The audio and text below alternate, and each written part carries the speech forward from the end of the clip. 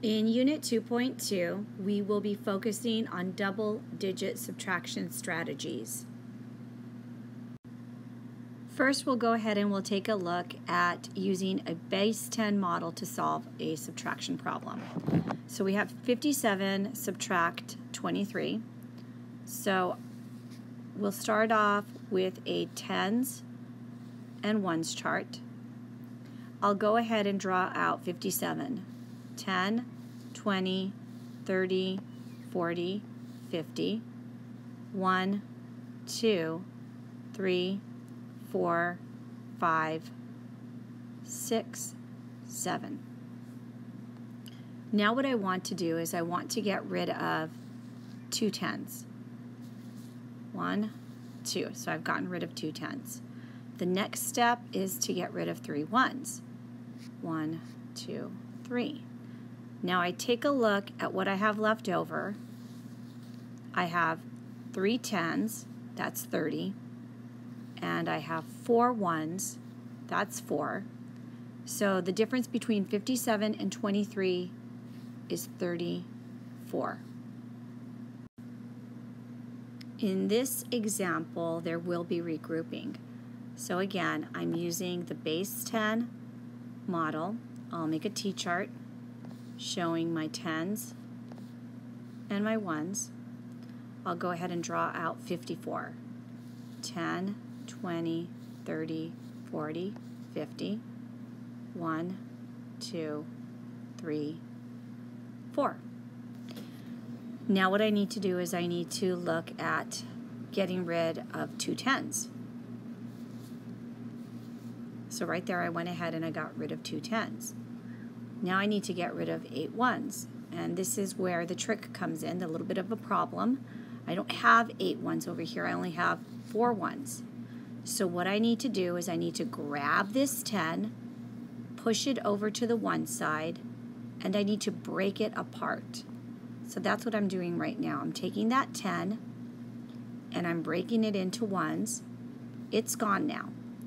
Now I am able to get rid of eight ones. So I'm going to do that now. There's four, five, six, seven, eight. So this is what I have left over on the one side. So the answer is 26. 54 minus 28 is 26. Now we'll take a look at subtracting on an open number line. There's two ways that students can do this, so I'm going to model both ways. The first way is to start at the number 64 and to jump back three tens and then two ones. So here I am at 64, 10, 20, 30. And I'll write that number. These are all jumps of 10. Then I'll jump back two. One, two. These are jumps of one. I go back to 64, and then I have to remind myself I'll be counting backwards by 10. So 64, 54, 44, 34. I write that down. I stop and I tell myself, okay, now count backward by 1. 34, 33, 32. So 64 minus 32 is 32. The other way students can do it is they can jump up on the number line. They can start at 32 and they can jump up until they reach 64. So we'll start at 32 and we'll say 42,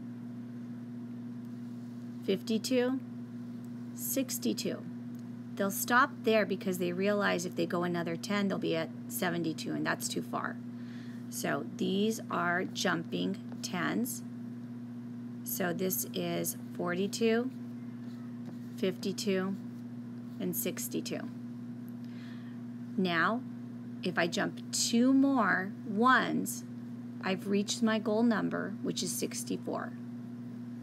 So now I've jumped 10, 20, 30, 31, 32, and that's the answer. You've got to count all those jumps to get the answer. And again, the answer is 32.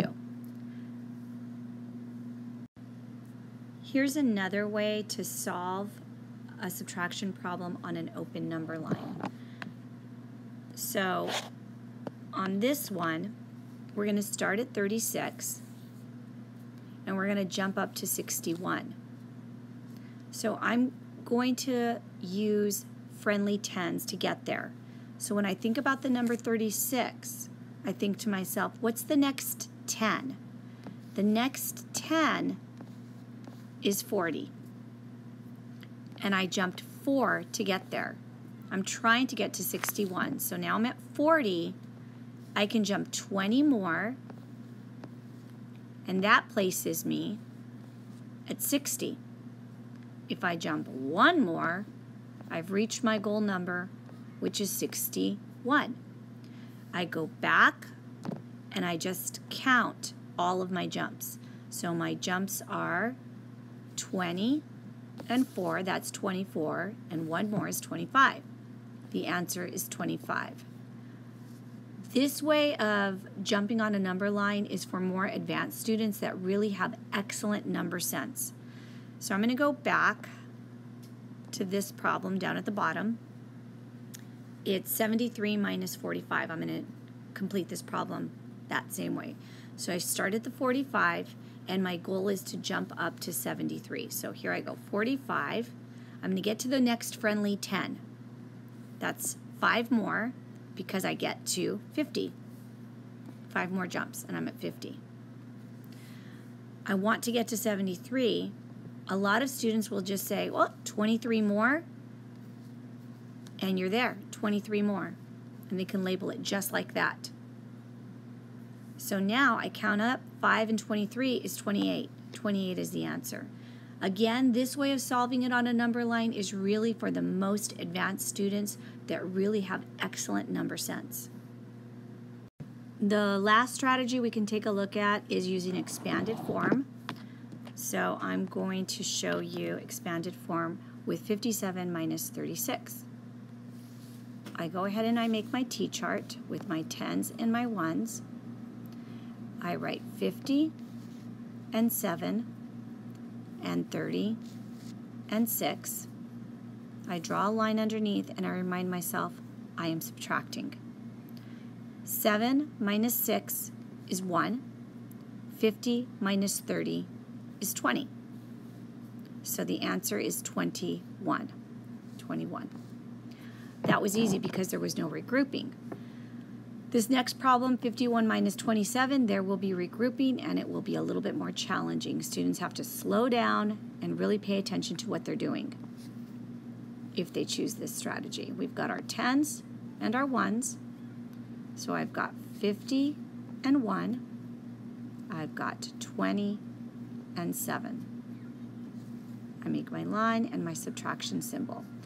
At this point in time, I look at this and I realize I cannot take 7 from 1. 1 minus 7, I can't do it. I must go to the tens column, this area here, and I must grab one of the tens. From there, I make that 40. And now this is 11 because 10 and 1 is 11. So that's why this new number is 11. So 11 take away 7, I can do that. That's 4. 40 minus 20 is 20. So my new answer is 24. This strategy can be hard for a lot of students. They really have to slow down and pay attention, but these are the strategies we're working on in class, and students are encouraged to use the one that they like the best.